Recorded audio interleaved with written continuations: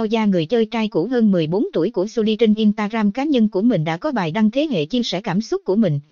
Lời tiễn biệt muộn màng của Cho Gia đã khiến công chúng càng ngày càng xót xa hơn cho Suli. Tên Instagram, Cho Gia viết, chúng ta đã có với nhau những kỷ niệm đẹp nhất cuộc đời. Anh cảm thấy thật tiếc gì đã để em đi ra như vậy. Anh sẽ nhớ mãi ký ức của chúng ta cho tới khi nhắm mắt. Nhớ em thật nhiều.